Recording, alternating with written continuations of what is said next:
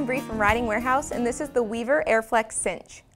The underside of this cinch keeps the horse cooler in two different ways. First, the white CoolFlex foam does not absorb the horse's body heat, so the cinch stays cooler, which in turn keeps your horse much cooler as well. In addition, the structure of the foam cells provides clear airflow channels, which continually evaporates your horse's sweat. The cinch contains two D-rings for a breast collar, tie down, and or back cinch attachment.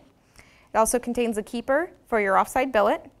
And what I love about this cinch is that the heavy duty nylon peels away for easy washing.